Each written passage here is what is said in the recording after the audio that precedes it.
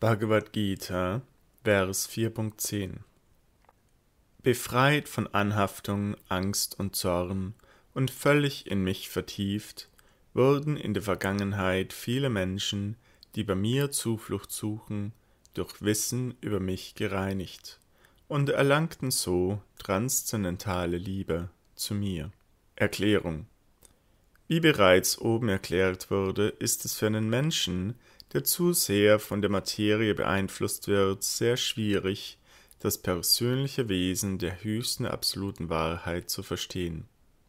Im Allgemeinen sind Menschen, die an der körperlichen Auffassung des Lebens haften, so sehr in den Materialismus versunken, dass es für sie unmöglich ist zu verstehen, dass es einen transzendentalen Körper gibt, der unvergänglich, voller Wissen und ewiglich voller Glückseligkeit ist.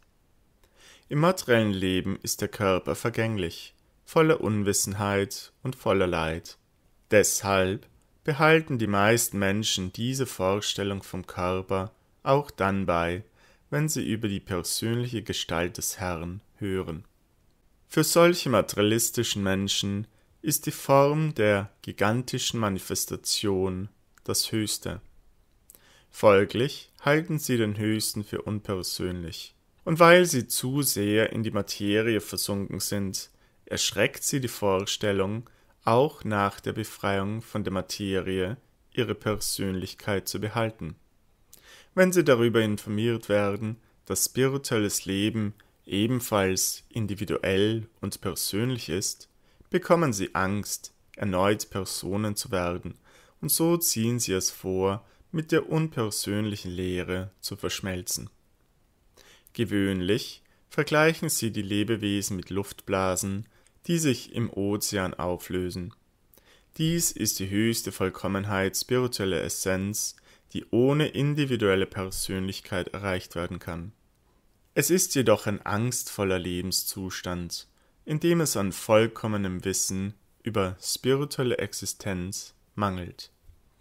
Darüber hinaus gibt es viele Menschen, die spirituelles Dasein überhaupt nicht verstehen können weil sie von den vielen Theorien und Widersprüchen verschiedener philosophischer Spekulationen enttäuscht worden sind, fühlen sie sich abgestoßen oder werden ärgerlich und kommen in ihrer Verblendung zu der falschen Schlussfolgerung, dass es keine höchste Ursache gibt und dass letztlich alles leer ist.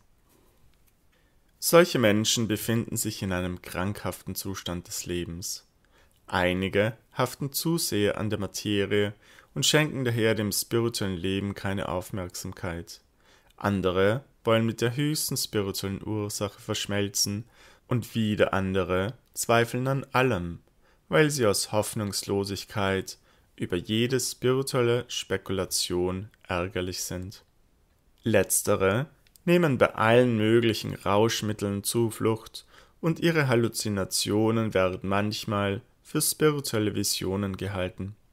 Man muss sich von diesen drei Stufen der Anhaftung an die materielle Welt lösen, von Gleichgültigkeit gegenüber spirituellem Leben, von Angst vor einer spirituellen persönlichen Identität und von der Vorstellung der Lehre, die aus Frustration entsteht.